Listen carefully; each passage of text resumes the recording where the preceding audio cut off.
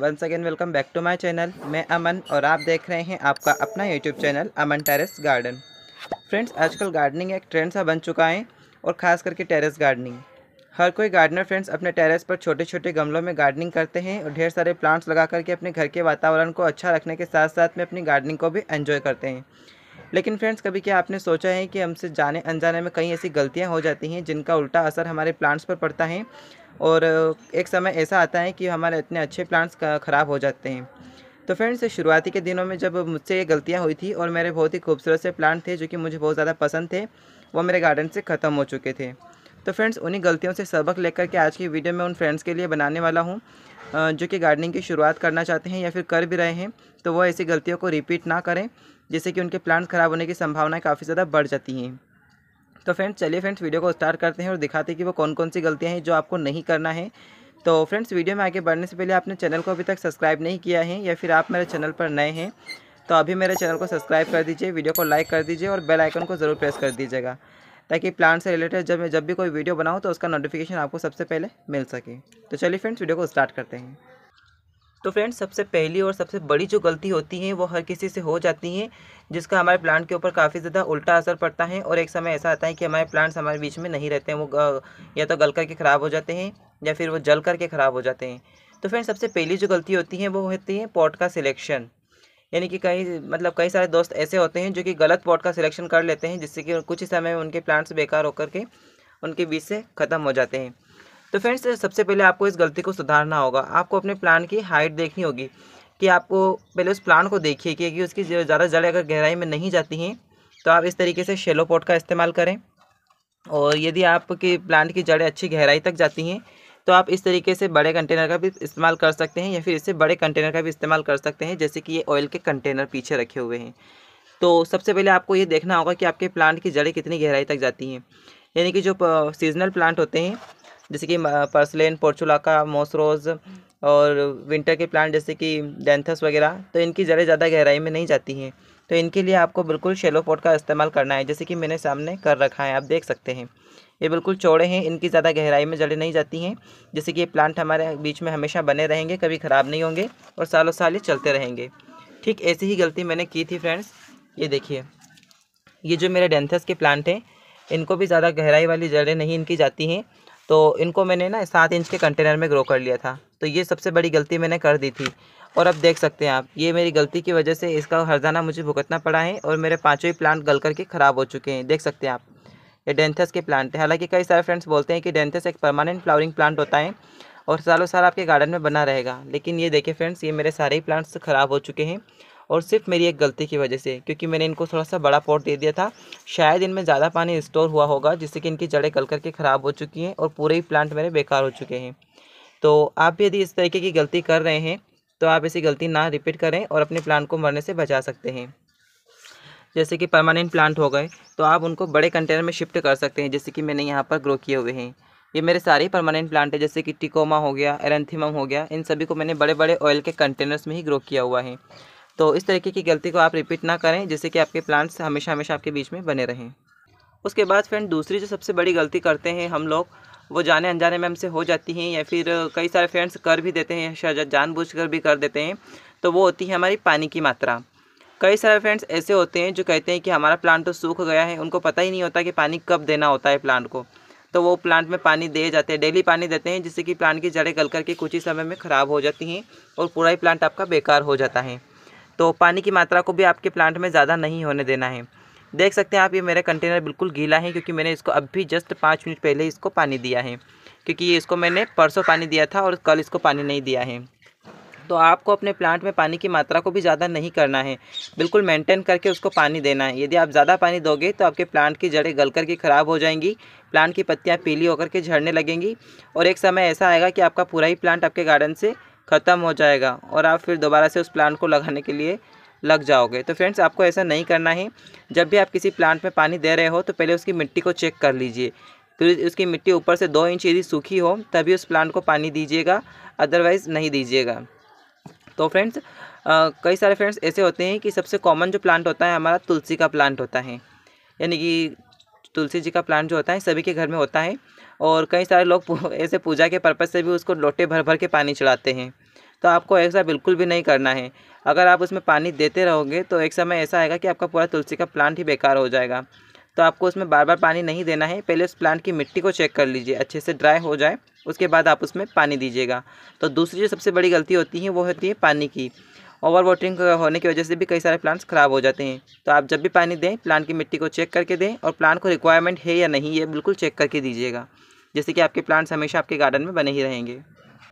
उसके बाद फ्रेंड, तीसरी जो सबसे बड़ी गलती होती है, जिससे कि कई बार हमारे प्लांट्स ख़राब हो जाते हैं और प्लांट हमारा पूरा बेकार हो जाता है।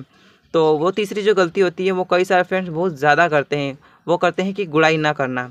क्योंकि प्लांट जो होता है फ्रेंड्स ये जो आप सामने प्लांट देख रहे हैं इन प्लांट की जो एयर पॉपुलेशन है, उनको भी हमको थोड़े थोड़े दिनों में रिलीज़ करना होता है। यानी कि हम पानी डालते रहते डालते रहते हैं, जिससे कि हमारे प्लांट की मिट्टी इस तरीके से ऊपर जम जाती है। ये जो आप सामने देख सकते हैं, ये भी इसकी मिट्टी जमी हुई है। तो आपको इसको थोड़ी सी गुड़ाई करना है, जिससे कि इस प्लांट में एयर पॉपुलेशन बना रहे। कोई भी चीज़ ले लीजिए आप और इस तरीके से प्लांट की हल्के हल्के से गुड़ाई करते रहिए। ये इस तरीके से। ताकि ये जो मिट्टी है, ये ऊपर नीचे होकर के प्लांट का एयर पॉक्यूलेशन चालू कर दें, जिससे कि पौधे की जड़ें अच्छे से सांस ले सकें और आपका पौधा भी बहुत ही अच्छा और हेल्दी बना रहे। यदि आप ऐसा नहीं करते हो तो पौधे की जड़ें अंदर ही अंदर गल करके ख़त्म हो सकती हैं। उनको हवा नहीं लगेगी तो वो कुछ ही समय में ख़राब हो जाएँगी।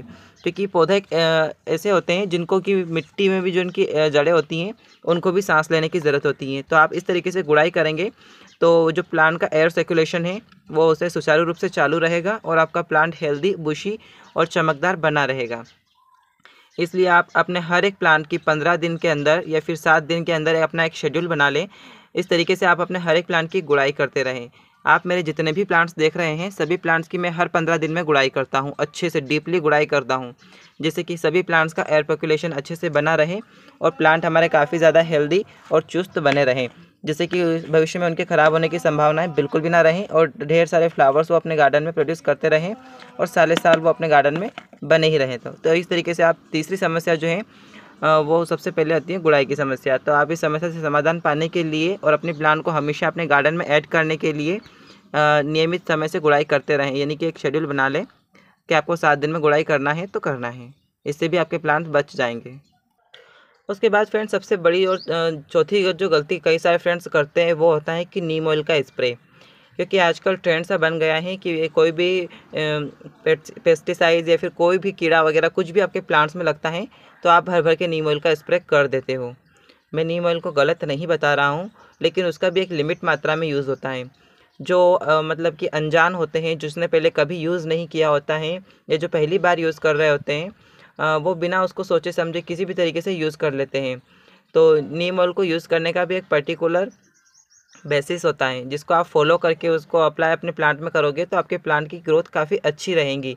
लेकिन कई सारे फ्रेंड्स ऐसे होते हैं कि उसका ओवर डोज यूज़ कर लेते हैं, जिससे कि प्लांट उनके कुछ ही समय में ख़राब हो जाते हैं। तो आप नीम ऑयल का स्प्रे जब भी कर रहे हैं प्लांट में तो बिल्कुल सोच समझ करके करें। जब भी आप उसको यूज़ करें तो एक लीटर पानी में उसका थोड़ा सा मात्रा मिलाएँ और उसको अच्छे से डाइलोट करके स्प्रे करें। और यदि आप वो नहीं करना चाहते हैं तो आप अपने नीम ऑयल को घर पर भी बना सकते हैं, नीम की सूखी पत्तियों से या फिर गीली पत्तियों से। तो इस तरीके से आप अपने नीम ऑयल को जब भी प्लांट में स्प्रे करते हैं तो कई बार उनका उल्टा असर हो जाता है और प्लांट हमारे ख़राब हो जाते हैं। तो मैं तो किसी नीम ऑयल का भी, बाज़ार वाले नीम ऑयल का स्प्रे नहीं करता हूँ। ये इस तरीके से सारे लिक्विड एंजाइम मैं अपने घर पर ही बनाता हूँ। और इन्हीं को अपने प्लांट में यूज़ करता हूँ, जिससे कि ना मेरे प्लांट में कोई कीड़ा मकोड़ा कुछ भी नहीं लगता है। फ्लावर भी काफ़ी अच्छे होते हैं प्लांट की थिकनेस भी आती हैं प्लांट की पत्तियाँ भी चमकदार बनती हैं और प्लांट हमारा हल्दी और बुशी बना रहता है सालों साल।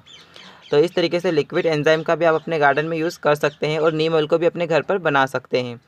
और इस इस तरीके से एंजाइम यदि आप बनाना चाहते हैं तो इसका वीडियो भी मेरे चैनल पर है, आप वहाँ जा के उसको चेकआउट कर सकते हैं। तो इस तरीके से घर पर होम मेड फर्टिलाइज़र बना करके अपने प्लांट की ग्रोथ को और भी ज़्यादा बढ़ा सकते हैं, न कि बाज़ार से केमिकल फर्टिलाइज़र ला अपने प्लांट को ख़त्म करना। उसके बाद फ्रेंड्स सभी लोग, यानी कि आधे से ज़्यादा लोग, सबसे बड़ी समस्या जो अपने प्लांट्स में कर देते हैं, वो होती हैं खाद की। यानी कि सबसे बड़ी समस्या जो होती हैं, वो सबके खाद के साथ में ही होती हैं। कई सारे फ्रेंड्स ऐसे होते हैं जो कि नई नई गार्डनिंग की शुरुआत करते हैं या फिर जिन्होंने नया नया स्टार्ट किया है अपनी गार्डनिंग को करना तो वो कई लोगों के बहकाव में आ जाते हैं और बोलते हैं कि प्लांट की बूस्टर डोज मतलब ग्रोथ को बढ़ाने के लिए आप उसमें खाद डाल दीजिए। तो वो बिना सोचे समझे कोई भी खाद डाल देते हैं जिससे कि प्लांट कुछ ही समय में ख़राब हो जाता है। और खाद डालने के साथ साथ में उसकी मात्रा भी तय नहीं करते हैं कि प्लांट का साइज़ क्या है, गमले का साइज़ क्या है, उस हिसाब से हम उसमें खाद डालें। नहीं, बस उनको खाद डालना होता है तो वो कोई भी खाद डाल करके अपने प्लांट को ख़राब करके बैठ जाते हैं। और कई सारे फ्रेंड्स ऐसे बोलते हैं कि प्लांट की ग्रोथ को अच्छा सा करने के लिए खाद तो डालना ही पड़ता है ना? तो वो बाज़ार से कई सारे केमिकल केमिकल फर्टिलाइज़र यूज़ करके अपने गार्डन के प्लांट को बेकार कर लेते हैं।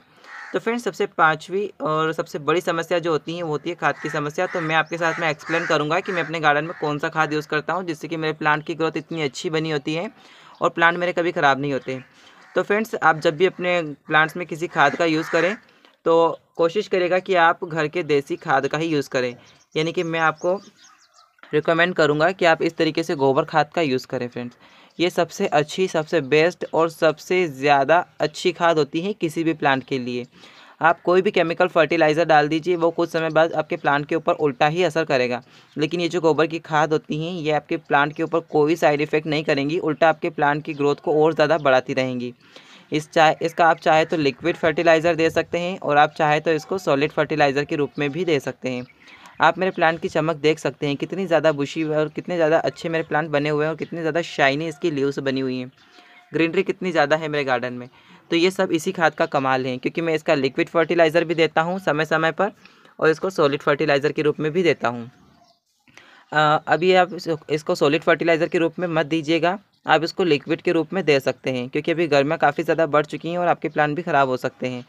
तो सबसे पाँचवीं और सबसे बड़ी समस्या जो होती है, वो खाद की समस्या होती हैं। तो फ्रेंड्स आई होप आप सभी लोगों को ये समझ आ चुका होगा कि अपने प्लांट में ये पाँच गलतियाँ आपको बिल्कुल भी नहीं करनी है, जिससे कि आपके प्लांट हमेशा बने रहें, अच्छे से आपके गार्डन में और खिलखिला करके हँसते रहें।